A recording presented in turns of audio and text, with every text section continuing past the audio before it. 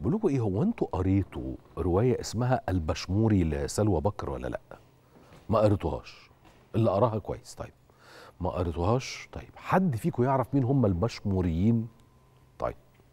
حد عارف تاريخ المقاومة الشعبية المصرية ضد أي شكل من أشكال الاحتلال الاضطهاد؟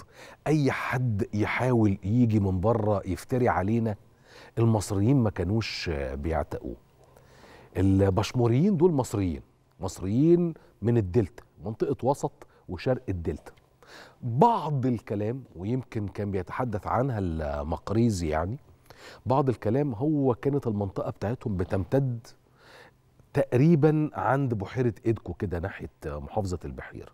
البعض الآخر قال لك لا ده كانت بتمتد من إيدكو لحد تقريبا مناطق في محافظة الدقهلية يعني مساحة واسعة.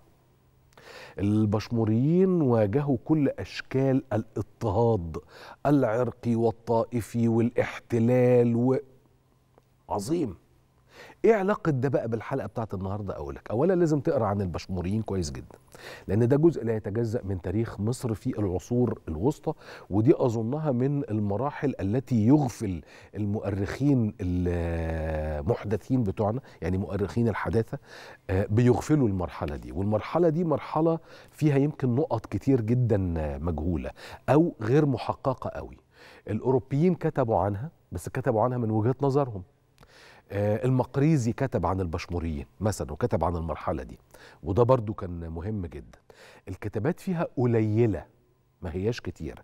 ولكن الباحث اللي بيبحث وهو مصر على إنه يصل للحقيقة هيصل لحقائق مذهلة خليك ترفع راسك لفوق قوي قوي قوي قوي حول كفاح البشموريين أو المقاومة المسلحة المصرية تجاه الاحتلال والاضطهاد في العصور الوسطى.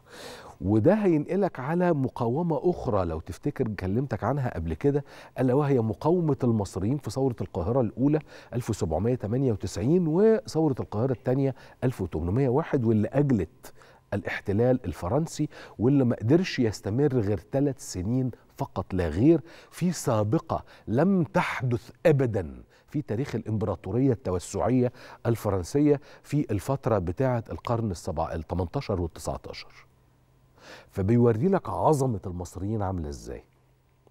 أهالينا في مدن القناة ومرة تانية هبقى أكمل لكم قصة البشموريين يعني وأقول لكم اتعامل معاهم إيه وبتاع. أهالينا في مدن القناة هم شعب مقاوم. شعب مصري في المية. ما بيحبش يتلوي دراعه. يعني لا بيحب طبعا الاحتلال وإحنا عارفين تاريخ المقاومة الشعبية تاريخ إسماعيلية وتاريخ السويس وتاريخ بورسعيد. أهالينا بقى في بورسعيد خدوا قرار يعملوا حملة. حملة للإحجام عن شراء وتناول الأسماك. فلتكن حملة عن الإحجام سميها كده عايز تسميها المقاطعة سميها سمي زي ما تسمي. مش دي القصة. لكن السؤال يا ترى يا هل ترى أهالينا في بورسعيد عملوا كده ليه؟ والسؤال اللي بعده وهل هذه الحملة وهو امتناع المواطنين عن شراء الأسماك هيؤدي إلى انخفاض أسعار السمك؟ طيب هل تجار السمك هم مغالين جدا في الأسعار؟ ما هو ده برضه حاجات كلها لازم لازم لازم نطرحها. لأنه على سبيل المثال لو افترضنا إن السمك كان سعر الكيلو بقى كان كذا ثم بقت الحملة والنهاردة اليوم الثاني للحملة تقريبا فانخفضت أسعار السمك وأصبحت كذا ده معناه إن كان في مغالاه في الأسعار.